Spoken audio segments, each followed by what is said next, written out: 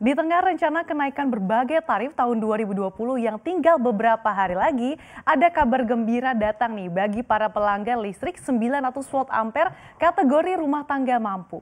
Pemerintah melalui Kementerian ESDM memutuskan untuk membatalkan penyesuaian harga pelanggan listrik untuk golongan 900 volt ampere bagi rumah tangga mampu.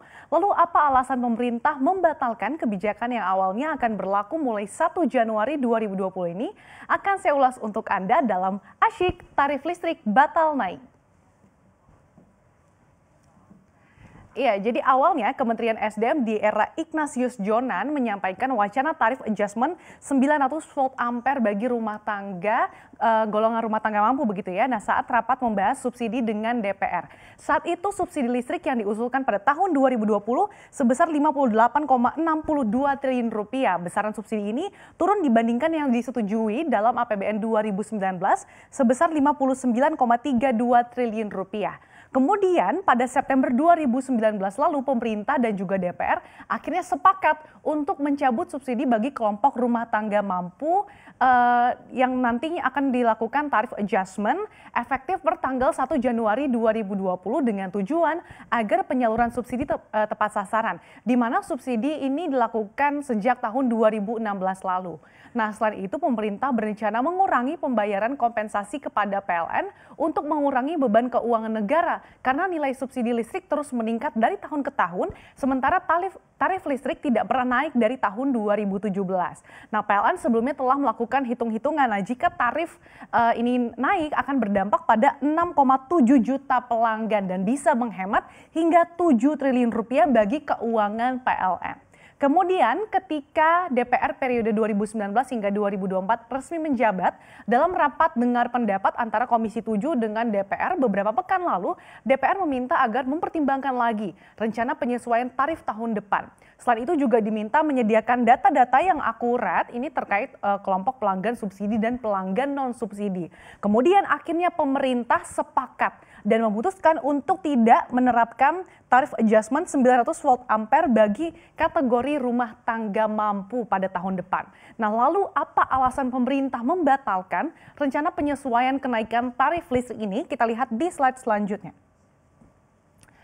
Pemerintah ini kan akhirnya memutuskan untuk tidak e, menerapkan tarif adjustment 900 volt ampere bagi golongan rumah tangga mampu dengan pertimbangan stabilitas ekonomi dan juga untuk menjaga daya beli masyarakat di tengah perlambatan ekonomi yang tengah melanda. Nah, langkah yang dilakukan pemerintah ini dinilai tepat mengingat di awal tahun 2020 terdapat berbagai kenaikan tarif yang harus ditanggung masyarakat, terutama bagi golongan keluarga menengah ke bawah.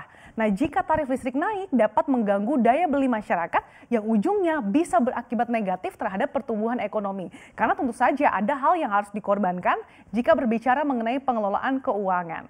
Nah, sementara itu pengamat ekonomi energi UGM Fahmi Radi menilai bahwa keputusan pemerintah untuk tidak mencabut subsidi pelanggan 900 volt ampere rumah tangga mampu sudah sangat tepat yang menunjukkan keberpihakan pemerintah kepada rakyat.